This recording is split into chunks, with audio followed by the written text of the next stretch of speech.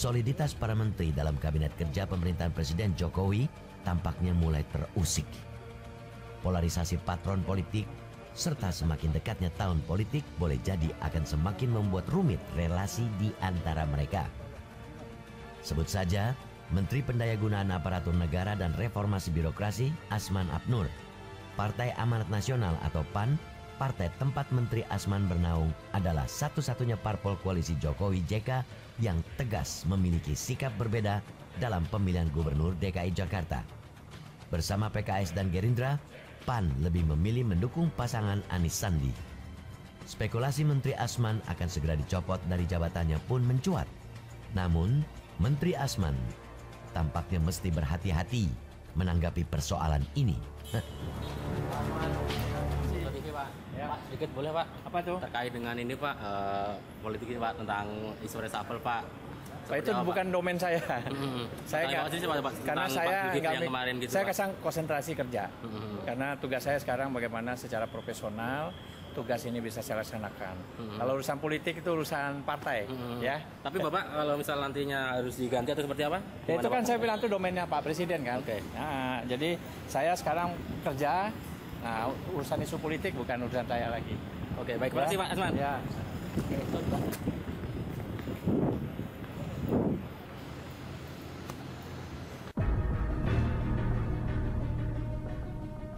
Motif Ketua Umum PAN mengungkap peran besar Wapres dalam pemenangan pasangan Anis Sandi diduga sebagai upaya untuk menyeimbangkan posisinya dalam kabinet. Nah, situasinya tentu tidak mengenakan bagi PAN. Dalam situasi PAN terjepit, saya kira PAN akan mencari uh, siapa yang bisa melindunginya di dalam hal ini. Nah, bisa jadi apa yang disampaikan oleh Bang Zul kepada publik adalah upaya PAN untuk kemudian mencari perlindungan ya agar uh, publik mengetahui bahwa sebenarnya bukan hanya PAN yang mengusung uh, pasangan Anis Sandi ya. Pada 9 Februari lalu, sejumlah pimpinan ormas yang menjadi motor sejumlah aksi terkait kasus penodaan agama menemui Menko Polukam Wiranto di rumah dinasnya di Jalan Denpasar. Jakarta Selatan. Mereka yang menemui Wiranto di antaranya pemimpin FPI Rizik Syihab serta Ketua GNPF MUI Bakhtiar Nasir. Pertemuan ini pun mengundang sejumlah spekulasi. Apalagi ketika itu, polisi baru saja menetapkan status tersangka terhadap Rizik Syihab terkait kasus penistaan terhadap Pancasila. Polisi juga sedang mendalami kasus dugaan aliran dana ke Turki yang diduga ditujukan ke sebuah organisasi yang berafiliasi ke ISIS.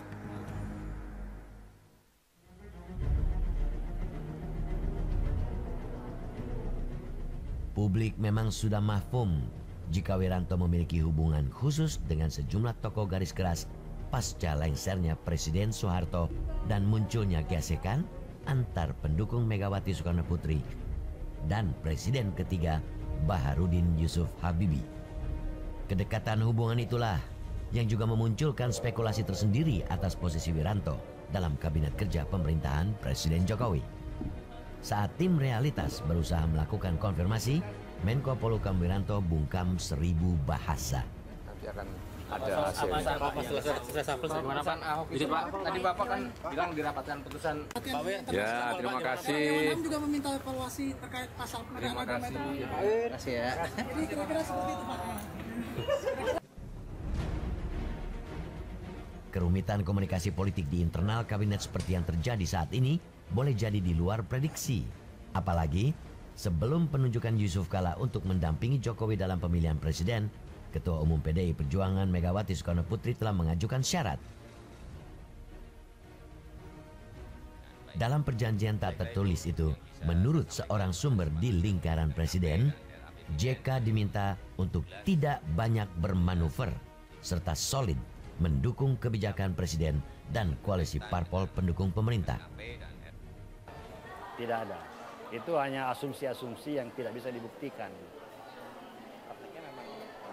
praktek semua berjalan bagus kan. Kalau enggak kan payah ini kita. Faktanya kan tidak. Alhamdulillah semua sektor berjalan dengan baik.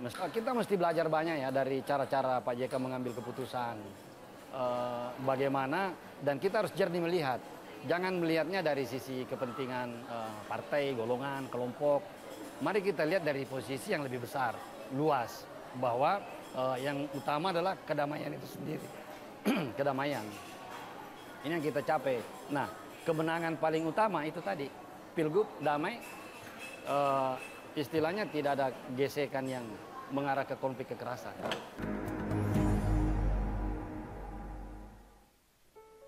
Sebuah kontestasi dalam politik adalah sebuah keniscayaan.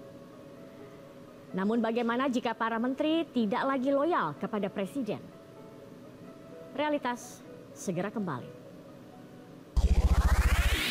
Yeah.